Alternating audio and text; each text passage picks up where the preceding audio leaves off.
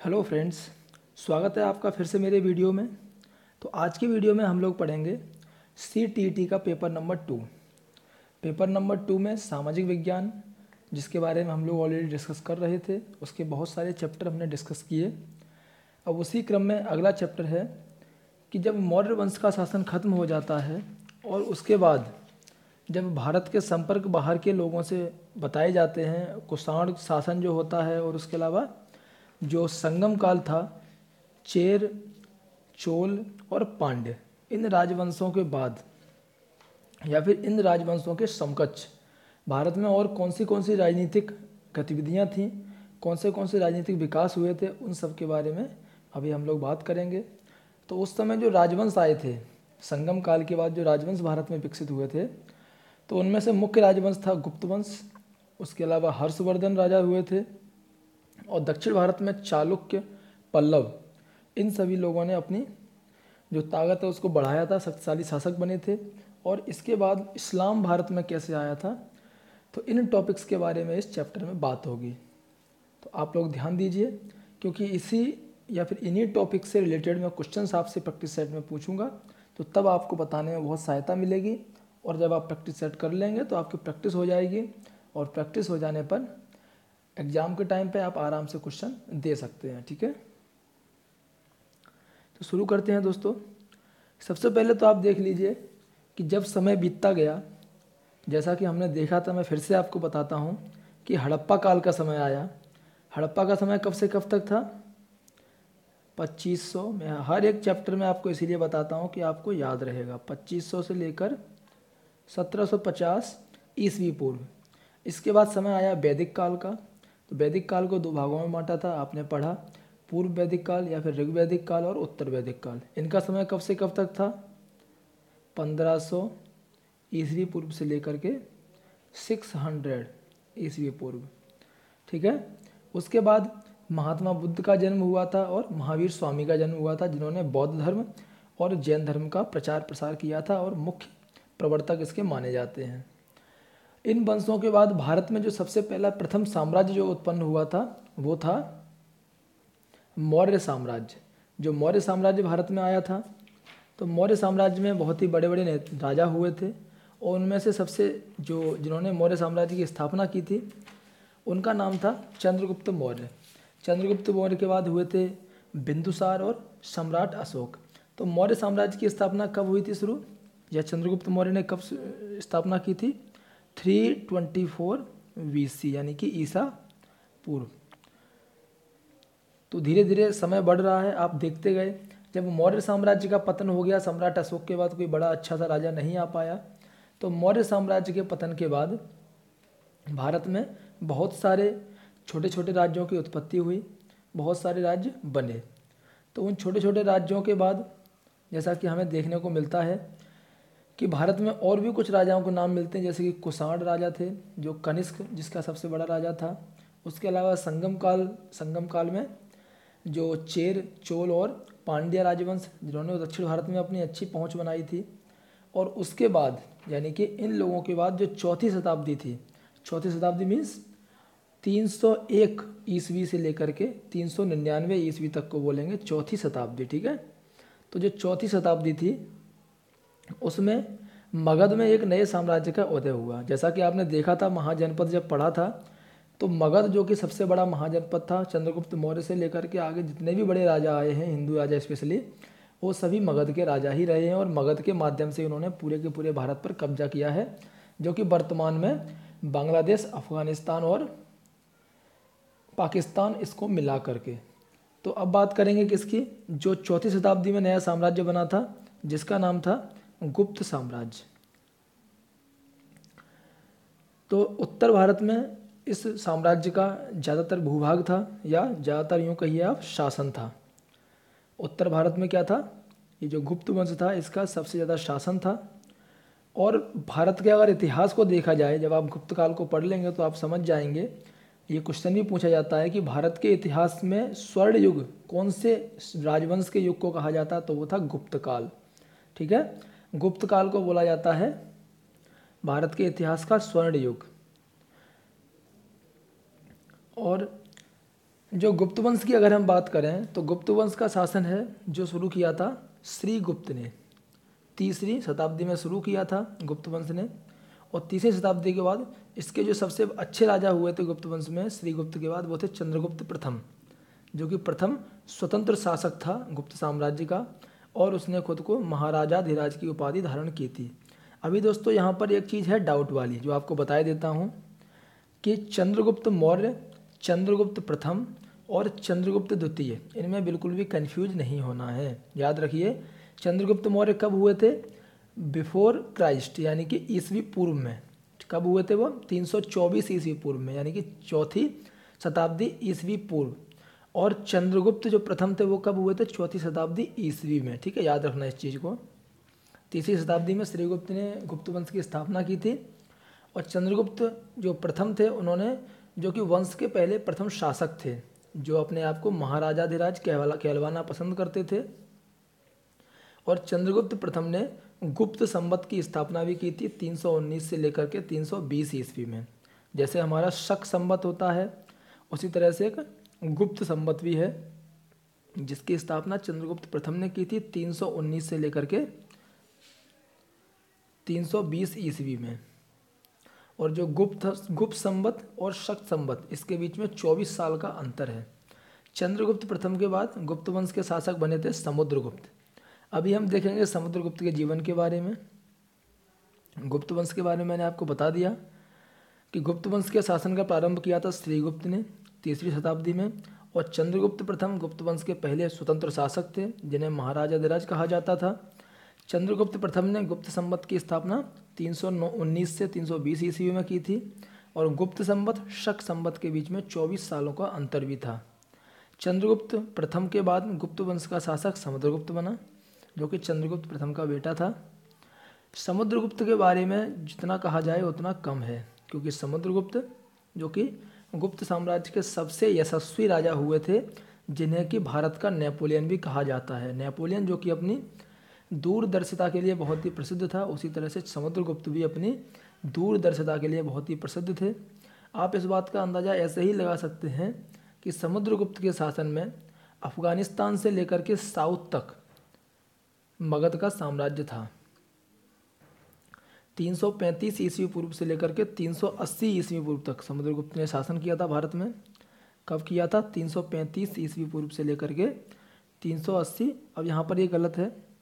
ईस्वी पूर्व नहीं है, ईस्वी है सॉरी 335 ईस्वी से लेकर के 380 ईस्वी तक शासन किया था। इन्हें भारत का नेपोलियन भी कहा जाता है। अभी देखेंगे हम समुद्रगुप्त की प्रशस्ति के बारे में। प्रशस्ति जो कि एक अभिलेख में मिली है। समुद्रगुप्त की जो प्रशस्ति है, वह संस्कृत में लिखी गई है। इसकी रचना समुद्रगुप्त के दरबारी कवि थे हरिसेन। हरिसेन जो कि प्रसिद्ध कवि हैं, इनका नाम भी आपने सुना होगा। तो इन्हें भी याद रखिए, जो हरिसेन है, वह समुद्रगुप्त के दरबारी कवि थे। इसी तरह से जो अश्वघोष थे, बुद्ध चरित्र के रचनाकार, वह कनिष्क के दरबारी कवि थे। और यह जो प्रशस्ति है, वह इलाहाबाद में अशोक के स्तंभ पर खुदी हुई मिली है। कहाँ पर मिली है? जो आज का प्रयागराज है इलाहाबाद वहाँ पर अशोक स्तंभ में खुदी हुई है, जहाँ पर अशोक स्तंभ पर खुदी हुई है, मिली है यहाँ पर और यह एक अभिलेख है, जिसे कि प्रशस्ति नाम से भी जानते हैं, इसका अर्थ होता है प्रशंसा करना। यानी कि यहाँ पर जो खुदाई, जो खुदा हुआ, जो उकेरा गया है, उनकी अशोक के स्तंभ पर, समुद्रगुप्त के बारे में तो वह उनकी प्रशस्ति है, क्योंकि उसमें उनकी प्रशंसा की गई है। प्रशस्तियाँ भारत में बहुत ही पहले से लिखी जा रही हैं, सबको मालूम है। जैसे कि गौतमी पुत्र सातकर्णी इनके बारे में मैंने बताया था, ये सातवाहन वंश के सबसे यशस्वी राजा हुए थे तो उनकी प्रशस्ति भी मिली है, लेकिन गुप्त काल में जो प्रशस्ति है, इनका महत्व तो बहुत ही ज़्यादा बढ़ गया था।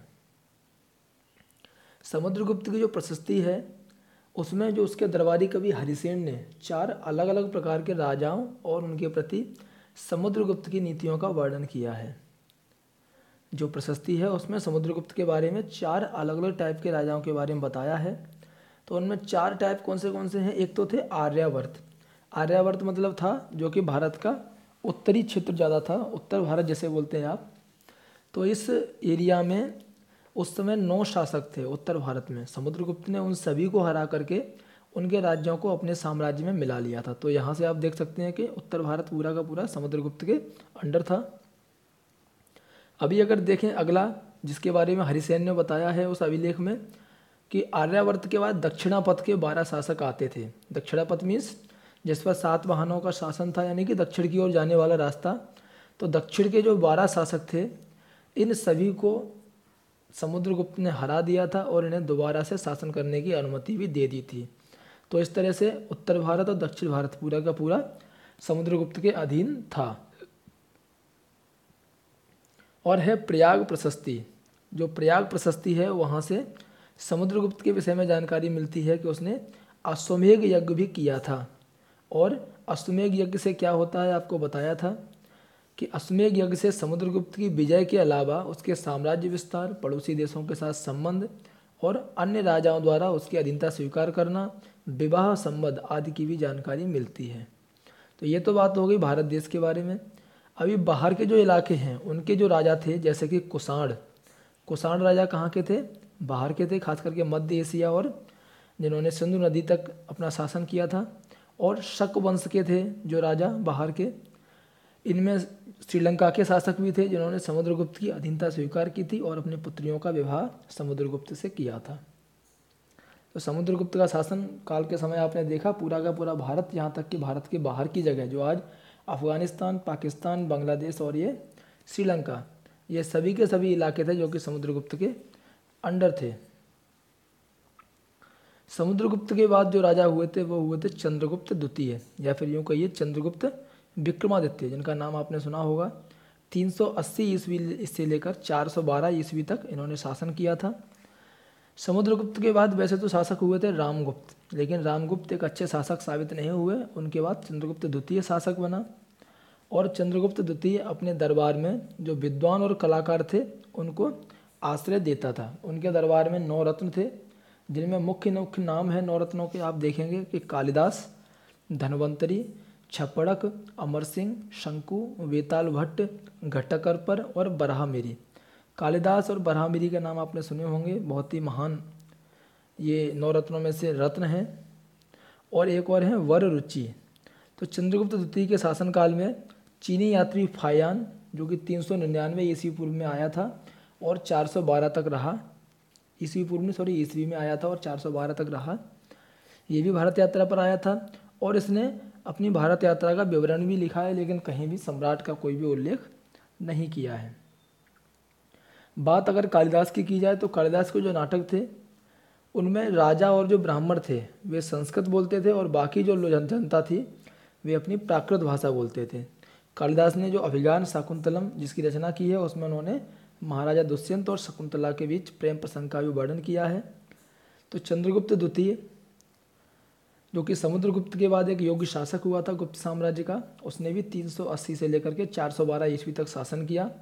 और फायान, जो कि एक चीनी तीर्थयात्री था, वह चंद, समुद्र, चंद्रगुप्त द्वितीय के समय भारत आया था, जैसा कि हम बात भी कर रहे थे कल के वीडियो में।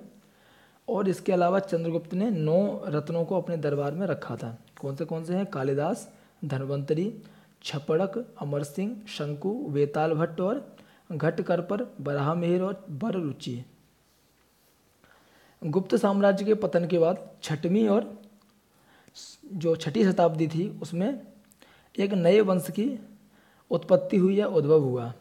वो वंश था पुष्यभूति राजवंश। कौन सा वंश था? पुष्यभूति वंश था, जिसके एक महान राजा थे हर्षवर्धन। उनके नाम से आप जानते होंगे। तो पुष्यभूति जो राजवंश था, वह वर्धन राजवंश के रूप में जाना जाता है और पुष्यभूति वंश की स्थापना पुष्यभूति ने हरियाणा के अंबाला ज़िले के थानेश्वर नामक स्थान पर की थी। तो जो हर्षवर्धन जो राजा था, वह कहाँ का था? थानेश्वर का राजा था।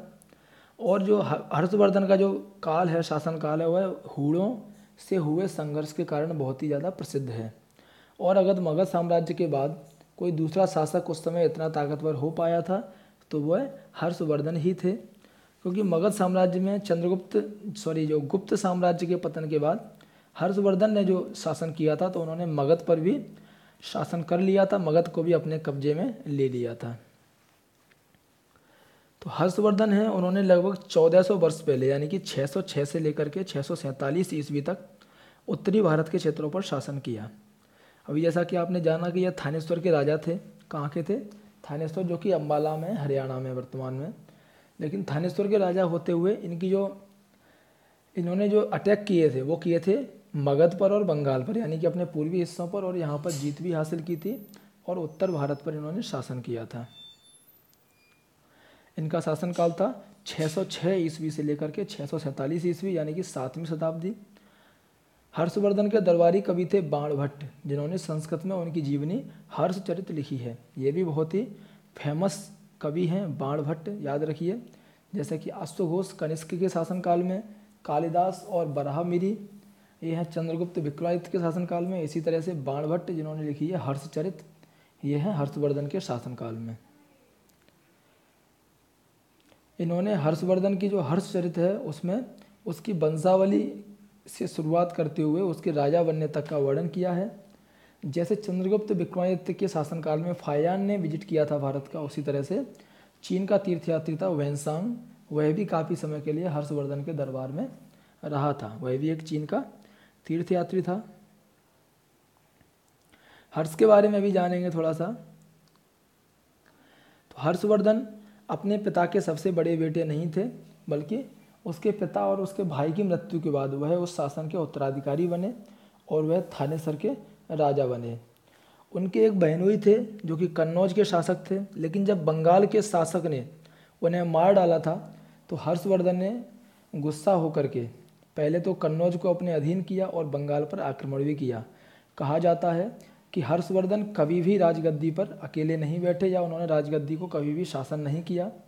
उन्होंने हमेशा अपनी बहन, जिनके पति को मार दिया गया था कन्नौज में, उनको शासन या कुर्सी पर बैठाया और कभी कभी कुछ विद्वान बोलते हैं कि हर्षवर्धन और उनकी बहन दोनों लोग ही राज सिंहासन पर एक साथ बैठते थे और शासन को चलाते थे।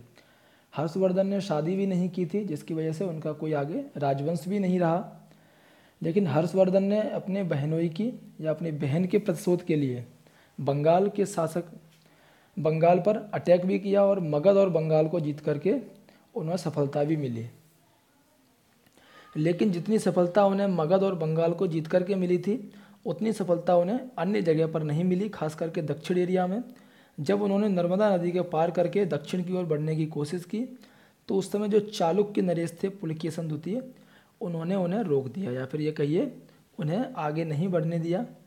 तो इस तरह से हर्षवर्धन के शासनकाल के बारे में और भी बातें बताई जाती हैं कि हर्षवर्धन हर साल जो कुंभ लगता था, उस कुंभ में अपनी बारह साल, जो कि कुंभ बारह साल के बाद लगता है, कुंभ में बारह साल में जितना भी धन कमाया होता था, उस पूरे के पूरे धन को लोगों को दान कर दिया करता था और खाली हाथ लौट जाया करता था। और हर एक बारह साल के बाद फिर से कुंभ के पास आता था और अपना पूरा का पूरा कमाया हुआ धन लोगों को दान कर दिया करता था। हर्षवर्धन ने कभी भी गद्दी नहीं की, राजगद्दी पर नहीं बैठे, हमेशा अपनी बहन के साथ बैठे और उनका पूरा का पूरा जीवन सिर्फ़ जनता की सेवा और अपने शासन को बढ़ाने में ही रहा। उनके शुरुआत में ही उनके जीवन में इतने कष्ट थे कि उन्होंने आगे शादी भी नहीं की और ना ही अपने राजवंश को आगे बढ़ाने का कोई सोचा। तो हर्षवर्धन के शासनकाल के बारे में आपको मालूम चला, सातवीं शताब्दी यानी कि 606 ईस्वी से लेकर के छः ईस्वी तक हर्षवर्धन का शासनकाल रहा।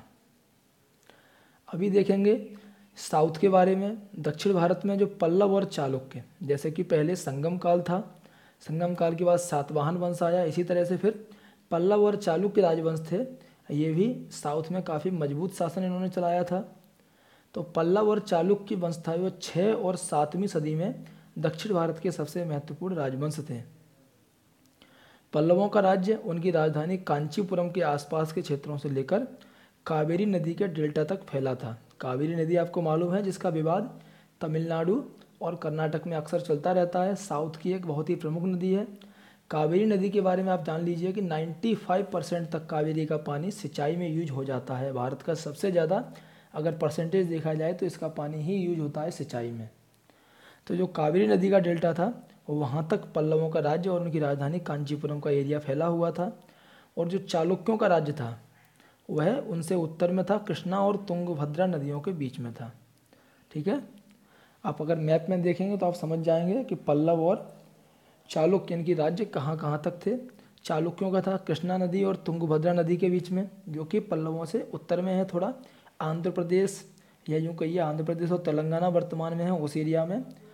और जो कावेरी और उसके नीचे का एरिया है, जहाँ पर कि पल्लवों का राज्य था, वह आजकल तमिलनाडु और केरला का एरिया कहा जाता है। चालुक्यों की राजधानी एहोल थी, जो कि एक प्रमुख व्यापारिक केंद्र थी, और धीरे धीरे यह धार्मिक केंद्र भी बन गई, जहाँ पर बहुत सारे मंदिर थे। और जैसा कि मालूम है, ये पड़ोसी राज्य थे, इसीलिए एक दूसरे पर अक्सर हमला करते रहते थे।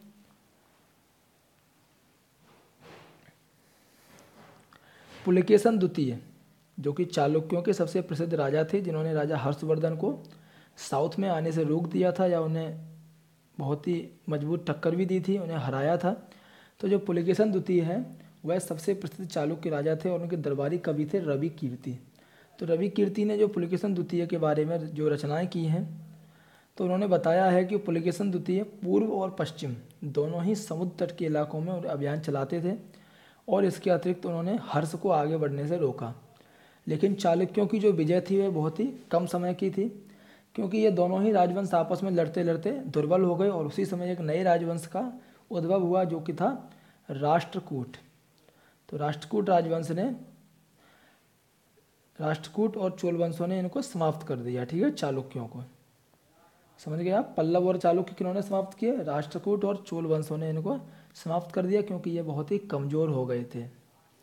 अभी अगर देखा जाए इनके प्रशासन के बारे में तो चाहे गुप्त साम्राज्य की बात हो या फिर आगे के साम्राज्य के बारे में, खास करके यह गुप्त साम्राज्य की बात है कि इनमें जो भी राजा हुए थे, उन्होंने अपने आप को अलग अलग उपाधियों से नवाजा था। जैसे कि कोई महाराजाधिराज बोलता था तो कोई त्रिभुवन चक्रवर्तिन बोलता था तो अलग अलग उपाधियाँ दी थी इन्होंने खुद को ही।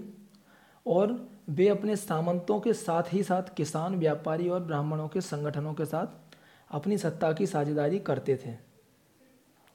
और इन सभी राज्यों में जो उत्पादक थे, यानी कि किसान थे, जो पशुपालक थे, कारीगर थे, या फिर उनके, उनकी जो संसाधन है, ये सभी इन्हीं से इकट्ठे किए जाते थे और इनको अक्सर अपने उत्पादों का एक हिस्सा त्यागने के लिए मनाया या फिर मजबूर किया जाता था।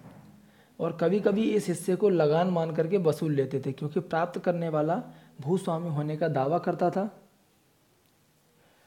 और कुछ राजा थे इनमें से जो कि पहले की तरह सुसंगठित सेना भी रखते थे, जिसमें कि हाथी, रथ, घुड़सवार और पैदल सिपाही होते थे। और कुछ लोग ऐसे थे जो कि कुछ सेनानायकों को रखते थे, और वे सेनानायक ऐसे थे जो कि ज़रूरत पड़ने पर सेना उपलब्ध कराते थे, और वे साथ में युद्धभूमि में चलते भी थे। अगर पल्लवों के जो अभिलेख हैं उनको देखा जाए तो स्थानीय सभाओं की चर्चा है। इनमें से एक ब्राह्मण भूस्वामियों का संगठन जिसे सभा कहते थे, उसके बारे में भी चर्चा की गई है। तो यहाँ तक जो शासन था, जहाँ तक कि आपने देखा चंद्रगुप्त चंद्रगुप्त यानी कि गुप्त वंश हर्षवर्धन और पल्लव और चालुक्य। ये जो सातवीं सदी की बात चल रही थी, उसी के कुछ ही दिनों के बाद, यानी कि आठवीं सदी में ही भारत में इस्लाम की भनक पड़ी, या यूँ कहिए इस्लाम का आगमन हुआ। मरुभूमि होते हुए भी अरब यातायात का एक बड़ा केंद्र था। यानी कि भारत से अगर आप अरब जाएँगे या फिर अरब एरिया को ही आप देखिए सऊदी अरब एंड एरिया तो वहाँ पर मरुस्थल भूमि बहुत ज़्यादा है। लेकिन इसके बाद भी जो अरब देश थे, वह यातायात का बहुत ही बड़ा केंद्र थे।